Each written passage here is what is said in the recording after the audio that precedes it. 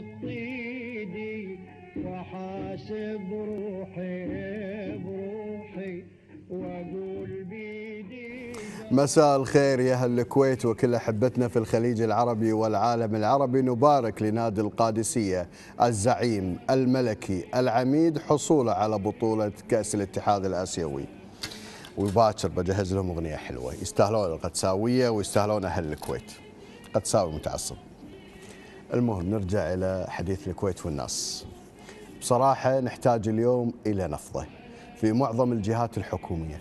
نفضل الديناصورات اللي قاعدة على الكراسي وما تشتغل ما تشتغل ولا شغلة وياما ناديت وصرخت وقلت للحكومة الطيبة والمجلس الأمة وقلت للدولة ان تزيل كل مسؤول من مسؤولين الهم والغم وترحلهم على بيوتهم وتسفرهم ونختار رجال يخدمون هذا الوطن. عينهم على الكويت ومصلحة الوطن والمواطن مش مسؤولين يعملون فقط لمصالح شركاتهم.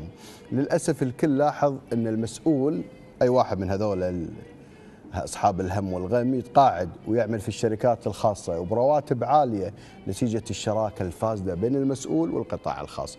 أصبح الأجانب والمستثمرين الأجانب يعرفون طبع بعض المسؤول الكويت. ادفع عمولتك تاخذ مشروعك. لا تدفع عمولك ما فيش مشروع ولا ترسية. المشكلة البلد الحقيقية المشكلة الإدارية. في اختيار مسؤولين وهناك وزراء يربطون عصاعص ووزراء يعملون لخير البلد ووزراء آخرين ينفذون سياسة المعازيب في إثارة الشارع لخدمة مصالح المتنفذين حتى تكثر الاستجوابات وتوقف التنمية اللي هي خايبة ونايمة. الإصلاح الحقيقي يبدأ عن طريق تشريع قانون لاختيار القيادات من الكفاءة لذلك انصلح الحال.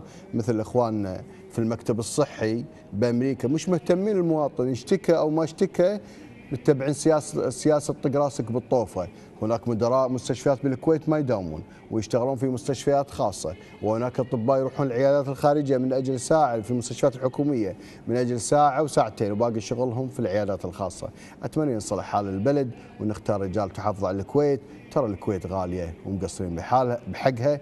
وادعو الله أن يحفظ الكويت والله يصلح الحال إذا كان في الأصل في حال. أعزائي المشاهدين